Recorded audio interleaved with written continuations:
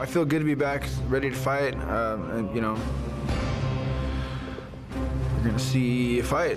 That's what you get. You get to see a fight. When you get two people in the octagon, they say go, you get a fight. So that's what we're gonna get. We're gonna see some fighting.